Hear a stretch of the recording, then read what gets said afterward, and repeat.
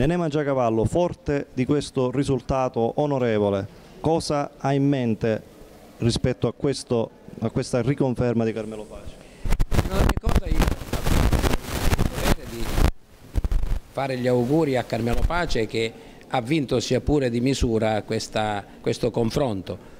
Bisogna riconoscere che il 50%, poco più del 50% ha votato per lui, ma bisogna anche riconoscere che quasi il 50% ha votato non tanto per me, ma per una squadra, per un gruppo che ha proposto con la forza delle idee e solo delle idee un progetto di cambiamento per questa città che per una per una piccolissima parte dei nostri elettori non ha avuto la meglio. Io faccio gli auguri a Carmelo Pace perché ritengo che ne abbia bisogno e tanti dal momento che ha assunto particolari impegni che gli auguro possa mantenere. Nostro risultato che ci lusinga, che ci stimola, che ci sostiene per andare avanti, noi lo consideriamo non un punto di arrivo, ma solo ed esclusivamente un punto di partenza, perché è un obbligo che io ho assunto non solo con i candidati, ma con la moltitudine di amici che ci ha sostenuto, ma in maniera particolare, lo devo dire con orgoglio e soddisfazione, con il gruppo particolarmente nutrito e qualificato di giovani tantissimi che mi hanno indotto a lottare con maggiore determinazione, con maggiore forza, con maggiore convincimento, per cui considero un dovere morale, prima che politico, ricambiare con il mio impegno, ricambiare con il nostro impegno la loro dedizione e la fiducia che hanno riposto in noi. L'impegno che noi abbiamo portato avanti non era tanto finalizzato ad avere noi un buon risultato, ma era ed è finalizzato ad assicurare un futuro più trasparente, più legalitario, ripeto, più legalitario, più corretto, fatto di valori, fatto di ideali, lontano dall'attrazione del denaro, a questi giovani desiderosi di un futuro migliore e non altrove, ma a Ribera.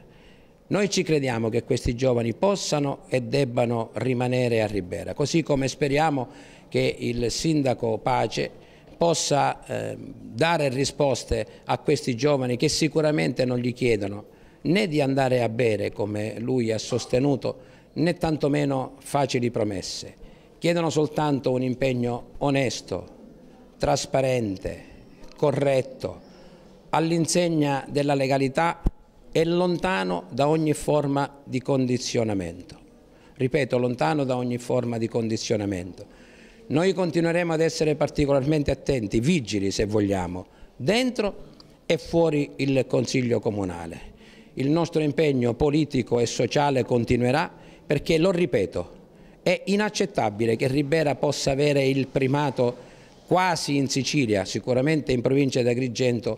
per numero di indagati per tossicodipendenza o per un livello particolarmente elevato di alcolismo. Noi avevamo detto quello che avremmo fatto e cercheremo di farlo comunque, anche fuori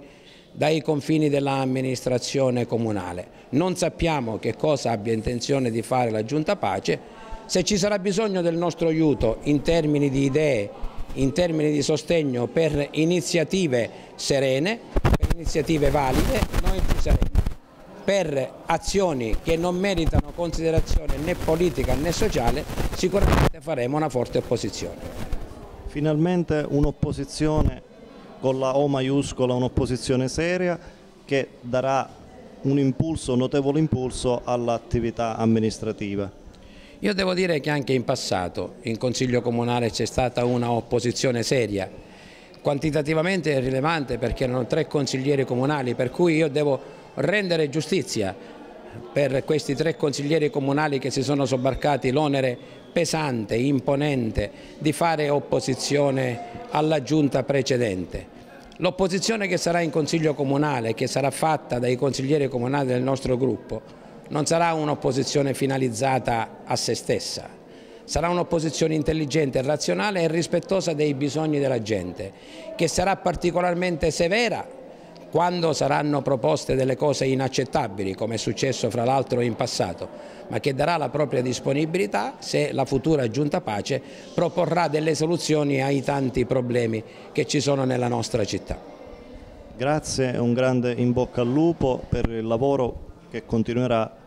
penso, imperterrito contro ogni stortura, ogni cosa che non funziona. Sì, diciamo che sarà una battaglia principalmente per la legalità. E il fatto che noi abbiamo attorno a noi, noi abbiamo attorno a noi delle persone per bene, delle persone oneste,